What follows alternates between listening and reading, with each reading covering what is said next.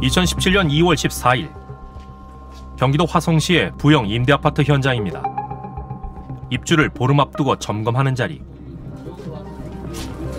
이게 몰탈 몰탈 칠해 놓은 거라는데 이게 똑같은 거 얼어버려가지고 이게 이게 똑같은 거 벽지가 젖어 있어요.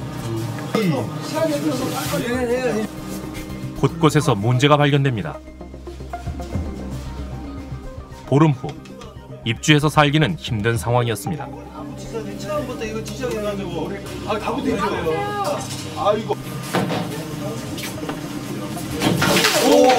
아. 괜찮으세요?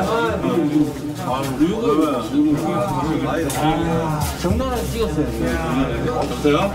이게 28일날 입주가 가능해? 야, 야, 아직도 모르세요? 나오세요. 이게 28일날 입주가 가능해? 입주 예정자들은 분노했습니다. 부영 측과 화성시에 문제 해결을 촉구했습니다.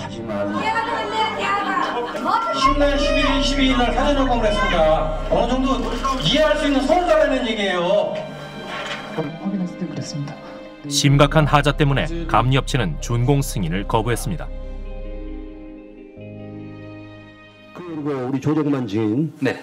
그 이게 감리업체에서 하자가 너무 많아서 준공 승인 반대했잖아요. 네. 준공을 내줘서는 안 된다는 자체적인 판단을 했었습니다. 그런데요. 그래서 어, 저희가 어, 저기 날인을 거부하고 대기하고 있었거든요. 예. 화성기사들은 그런 말씀을 하시는 겁니다.